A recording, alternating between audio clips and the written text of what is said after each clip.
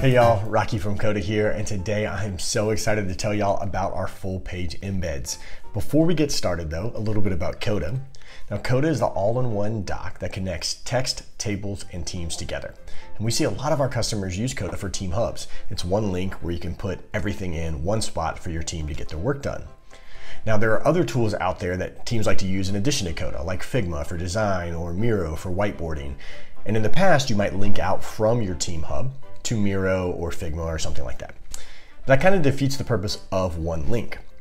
So now we have full page embeds. So all of your tools you can pull into your Coda doc. So if you have a Google Sheet or Google Doc that you're working from, it can be embedded right into your Coda doc. Or Mode for analytics, you can pull it straight into your Coda doc. But let me show you how it works. So here I have my team hub, the product team hub, and it's where my product team comes to get their work done. We have the roadmap of everything we're working on this year, a link for our stand-ups, so that way we can track all of our meetings, and a launch checklist, so we can really track step by step all of the launches we have coming down the pipeline. But what you'll notice down below here are our full page embeds. This one here is a Figma one for our designers, embedded right away so we can get the context we need around the design. Miro board for whiteboarding, a mode dashboard for analytics.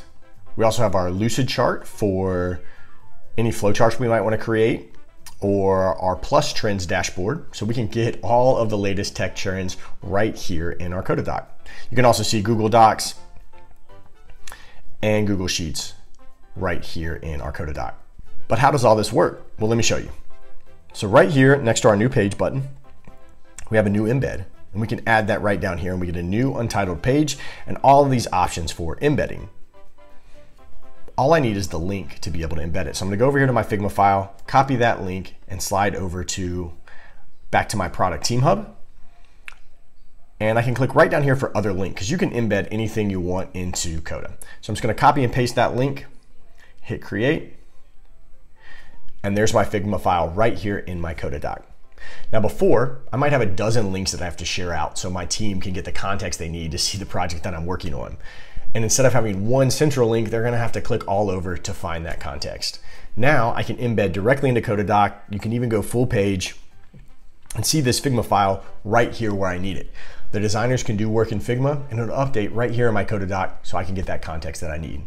Instead of sharing a handful of links, a dozen links, I can just share the one and no matter where that data lives, no matter what app it's in, it's all right there in that one Coda doc. No more tab switching, no more context switching, no more sharing tons of links. Your team can find everything they need in one Coda doc. Try it out in your team hub and let us know what you think.